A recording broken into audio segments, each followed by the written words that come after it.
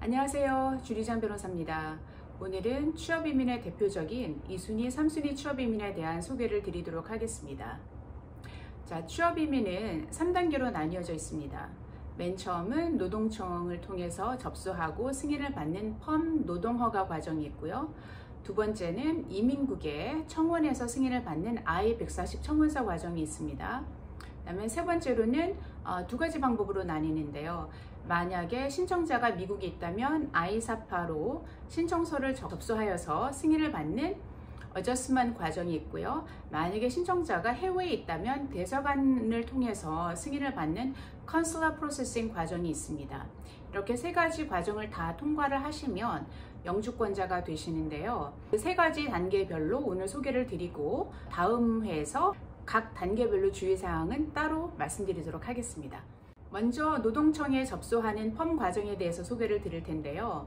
펌 과정은 노동청에서 미국에 거주하고 있는 이미 워크 퍼밋을 갖고 있는 사람들 중에서 먼저 뽑아야 된다라는 그런 룰이 있기 때문에 광고를 내고 구인 과정을 통해서 일할 의지가 있는 사람들이 있는지 자격 조건이 되는 사람들이 있는지를 먼저 확인하고 그리고 그런 신청자들이 없 거나 자격 조건이 안 될 때 영주권 스폰서를 할 수 있도록 허락해주는 그런 과정이에요. 전체적으로는 현재는 거의 1년 가까이 걸리는데요. 접수하기 전에 여러 가지 준비 과정을 거쳐야 됩니다. 그 중에는 노동청에 적정임금 신청서라는 것을 먼저 보내서 어, 이 지역에서 이런 포지션에 대해서는 어느 정도의 연봉이 적당한지를 노동청에서 결정을 해줘서 보내주고요. 또한 광고를 통해서 과연 이 지역에서 이 포지션에 관심 있는 사람들이 있는지를 확인하는 과정을 거쳐야 되고요. 또 이번이 처음이라면 펌을 신청할 수 있도록 노동청 사이트에서 레지스터해서 고용주가 신청서를 접수할 수 있는 그런 준비를 마쳐야 됩니다. 가장 오래 걸리는 것은 적정임금을 받는 과정이에요. 저희가 지금 비디오를 만들고 있는 이 시점에서는 그 과정이 지금 4개월이 아, 조금 넘고 있습니다. 광고 내는 과정은 대략 한 한 달 정도면은 거의 다 마칠 수 있는데요. 포지션이 대단히 스킬이 필요하고 전문적인 포지션인 경우에는 보통 다섯 군데의 광고를 내야 되고요. 그렇지 않고 좀더 기본적이거나 비숙련직이거나 이제 이런 포지션들은 광고를 두 군데 내면 됩니다. 이제 노동청 웹사이트하고 어, Sunday newspaper 두 군데 이제 내는 그런 광고인데요. 이 다섯 가지 광고가 동시에 처리될 수도 있고 나눠서 처리될 수도 있고요. 또 고용주는 이 광고가 나갈 때 혹은 광고가 끝나고 나서 일할 그 사이트에서 포스팅이라는 걸 해서 이미 일하고 있는 직원들한테 우리가 이런 영주권 케이스를 진행하고 있다라는 것을 알리는 그런 과정도 거쳐야 합니다. 그래서 이 모든 것이 다 끝나고 나면 신청서를 온라인으로 접수할 수 있고요. 그리고 나서 한 4개월에서 6개월 정도 걸려서 노동청에서 승인을 해주거나 기각을 하거나 혹은 서류 감사 결정을 하기도 합니다. 음, 서류 감사는 그다지 어려운 것은 아니에요. 왜냐하면 이미 했던 것을 다 제출하라는 내용이 대부분이거든요. 이 서류 감사는 이유가 있어서 어, 걸리는 경우도 있지만은 또 무작위 추출로 걸리는 경우도 꽤 있습니다. 그래서 서류 감사 확률이 사실 거의 40% 정도 지금은 되고 있어서 서류 감사에 걸린다고 하더라도 큰일 났다. 뭐 케이스가 이제는 기각되는 것인가 그런 걱정을 하실 필요는 없으세요.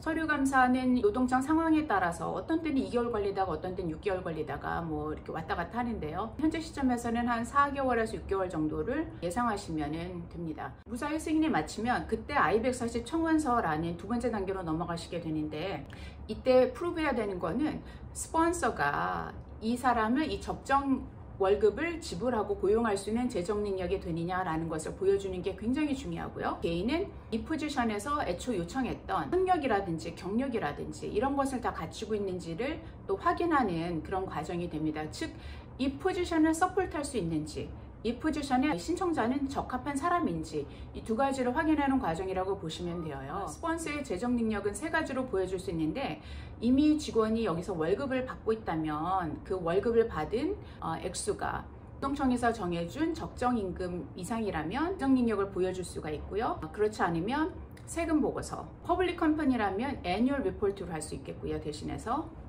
세금 보고서나 annual report가 없는 경우에는 CPA가 audit한 financial statement로 대체할 수 있습니다. 근데 이 CPA가 audit한 financial statement는 상당히 과정이 까다로워서 비용도 비싸고 오래 걸리기 때문에 웬만하면 나머지 과정으로 할 수 있다면 더욱 좋겠죠. 그펌 네. 과정에서 어, 학력은 어느 정도 돼야 된다라고 했으면 그 학력에 대한 학력 증명서를 보내셔야 되고요.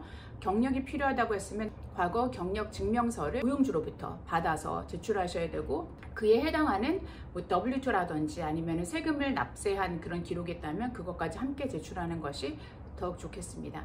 자, 여기까지 승인이 나면 그 다음 단계가 I사팔오 혹은 consular processing이 됩니다. I사팔오는 미국에 있는 사람들이 진행하는 과정인데요.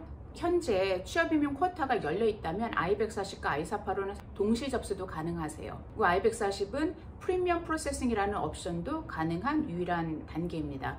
i485 단계는 premium processing이 없지만 i140이라는 두 번째 단계를 premium processing을 통해서 빨리 맞추시면 은 i485도 또 이렇게 좀 당겨지는 그런 효과가 있기 때문에 많은 분들이 i140대 프리미엄 프로세싱을 선택하기도 하세요. i485라는 과정은 이제는 스폰서는 빠지고 신청자의 미국에 있는 동안에 체류 신분을 잘 유지했느냐를 이제 보여줘야 되고요. 그다음에 이때는 biometrics라고 이제 지문 채취도 해서 이 사람이 criminal record가 있는지 확인하는 그런 security check도 있고요. medical exam을 통해서 public에 threat이 되는 그런 전염병이 있는지 이런 거를 확인하는 과정도 있습니다. 그 만약에 신청자가 가족이 있다면 이 I사팔오 과정 때 배우자라던가 자녀들도 같이 신청을 하게 됩니다. 만약에 신청자가 해외에 있다면 I140이라는 두 번째 단계가 승인이 난 다음에 이것이 National Visa Center로 옮겨지고 National Visa Center에서 그 신청자가 있는 나라의 미국 대사관의 영사과로 승인서가 옮겨지게 되어요. 예, 그래서 그 과정에서 아까 I사팔오 때 말씀드렸던 이런 서류들을 다 National Visa Center로 보내게 되고요. 그다음에 최종적으로 인터뷰는 현지 미국 대사관에서 진행을 하고 거기서 승인이 나면은 이민 비자 스탬프라는 것을 여권에 받음으로써 이 과정을 마치게 됩니다. 이때 개인적으로 필요한 서류들은 한국 분들 같은 경우는 이제 출생증명을 기본증명서, 가족관계증명서로 하니까요. 배우자가 있으신 경우에는 혼인관계증명서를 내야 되겠고요. 한국에 범죄 기록이 있는지를 체크하고 한국에 있는 병원에서 또 medical exam을 하시고 이런 과정들을 거치시게 됩니다. 자 그럼 오늘 간단하게 이 세 가지에 대해서 말씀드렸는데요. 이 취업이민에서 약간 다크호스라고 할 수 있는 거는 서류 감사가 PERM이 끝났을 때 나오느냐 취업이민의 쿼터가 열려 있느냐 보통은 지금 열려 있어서 별 delay 없이 잘 진행이 되고 있는데 간혹 가다가 뭐 2순위건 3순위건 그 순위에 신청자가 너무 많으면 대기 기간이 생기기도 합니다. 그것이 어떤 때는 3개월이 될 수도 있고 6개월이 될 수도 있고 또 없이 지나가시는 분들도 있고요.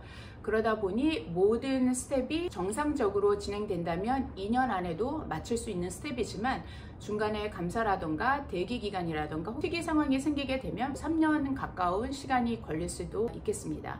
그 취업 이민에는 인터뷰가 없었는데 트럼프 행정부 시절에 이민국에서 인터뷰를 필수로 만들었다가 없애고 있는 그런 상황이라서 앞으로는 보다 인터뷰 없이 최종적으로 승인을 마치는 그러니까 아이사파로 과정이죠 미국에서 하는 해외에서 하게 되면 반드시 인터뷰를 거치셔야 되고요. 미국에서 진행하시는 경우 인터뷰 없이 마치시는 그런 케이스들이 더 늘어날 것으로 지금 예상하고 있습니다. 감사합니다. 그럼 다음 회에서는 펌 과정에서 특별한 이슈들 일어날 수 있는 것들을 한번 나눠보도록 하겠습니다. 감사합니다. 안녕히 계세요